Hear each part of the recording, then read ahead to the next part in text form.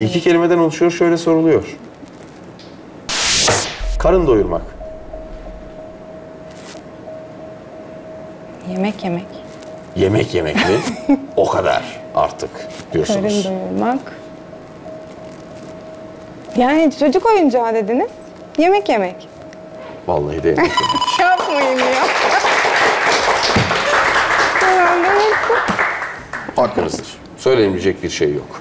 Hakikaten öyle. 8200 puan yerli yerine oturdu. Fakat ilk sırada yarıştığı için fazlaca heyecanlanan rakibiniz Emine Hanım'a da bir kuvvetli alkış istedim. Tebrik ederim.